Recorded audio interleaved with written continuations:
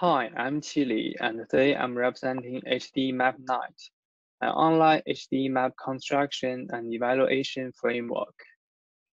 HD map construction is an essential module for modern autonomous driving. It enables autonomous vehicles to localize them precisely, make instant decision, and predict objects' motion.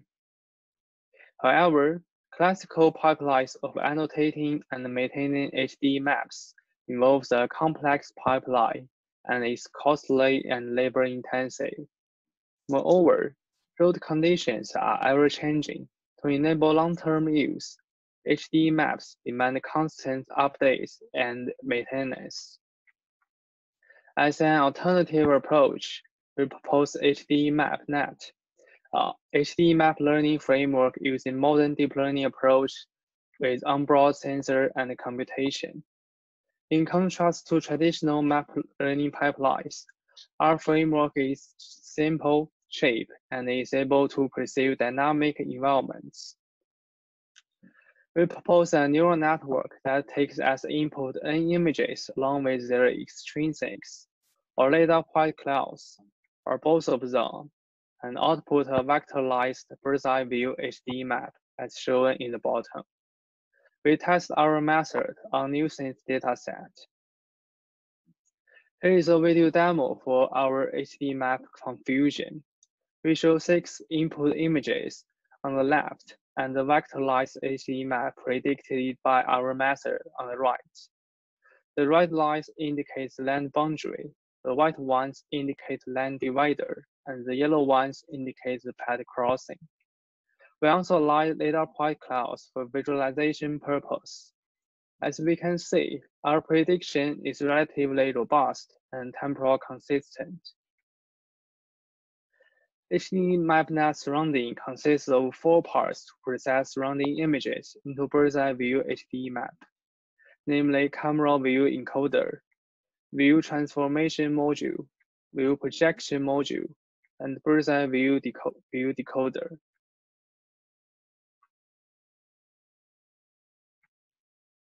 We use pre-trained EfficientNet B0 as camera view encoder to operate on each of the camera images individually, which downsample the images by a factor of 16.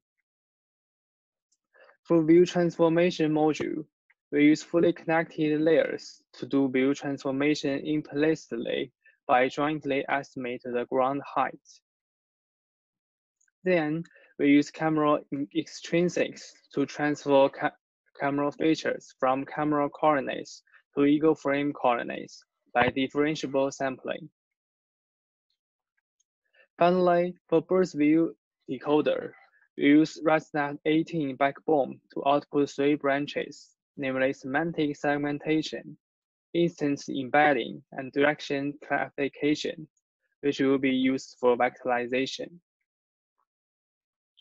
HD MapNet can also handle LiDAR input.